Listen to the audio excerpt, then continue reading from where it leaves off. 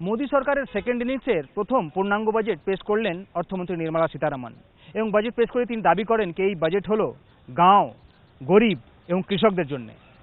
এবং তিনি বললেন কি, এটা কিন্তু আগামী পাঁচ বছরের জন্য যে যে পরিকল্পনাগুলো নিচ্ছেন, সেটাতে দেশের ইকোনমি আরও ভালো হবে। তবে বিরোধীরা সেটা মানতে নারাজ। কংগ্রেস টিএমসি তরফ থেকে বলা হচ্ছে কি, এই বাজেটে মধ্যবিত্তের জন্য কিছু দেওয়া হয়নি। কৃষকদের জন্য কিছু দেওয়া হয়নি।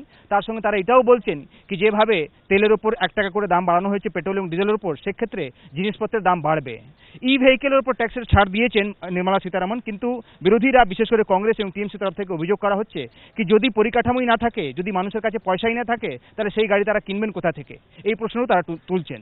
তারা আশা করেছিলেন কি একটা ইনকাম ট্যাক্সে কোনো ছাড় হয়তো দেওয়া হবে, তবে ইনকাম ট্যাক্সের স্ল্যাব তিনি একই রেখেছেন। নির্মলা সীতারামন যেটা অর্থমন্ত্রী অরুণ জেটলি ইন্টারিম বাজেটে রেখেছিলেন, সেটাতে কোনো চেঞ্জ করা হয়নি। সেটাতেও একটা নিরাশা দেখছে বিরোধীরা, কেন কি মিডল ক্লাস যেভাবে সাপোর্ট করেছে বিজেপিকে, তিনশো তিনটা সিট দিয়েছে লোকসভায়, তারা আশা করছিলেন কি হয়তো সেখানে কোনো একটা ছাড় দেবেন নির্মলা সীতারামন।